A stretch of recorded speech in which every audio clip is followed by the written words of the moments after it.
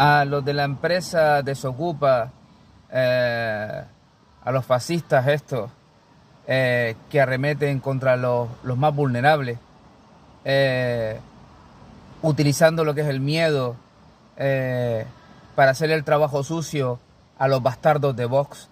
Les voy a decir una cosita.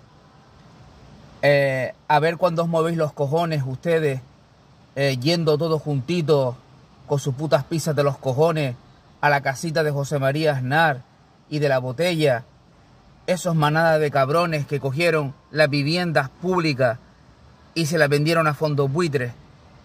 A ver si tenéis los huevitos de ella la casita de José María Aznar.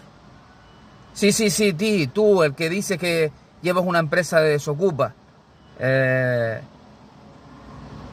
sinvergüenzas, que sois unos sinvergüenzas, metiendo lo que es el odio en el cuerpo eh, para hacer el trabajo sucio a los bastardos de Vox. A ver cuando coges tu puta empresa, miserable de mierda, porque tú lo que eres es un miserable, ¿eh? Eres un, que te aprovechas de las debilidades de los pobres, de los, menos desafortunados.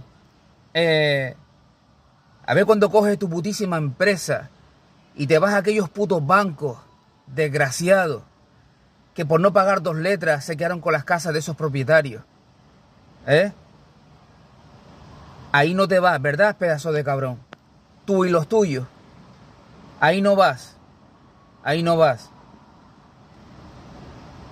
Donde has ido hoy a hacer eh, el paripé con tus bastardos y tus putas pizzas, los vecinos dicen que nunca han tenido un problema con esos muchachos, con los que están ocupando casas ahí. ¿Eh? Vienen desde que está en campaña electoral.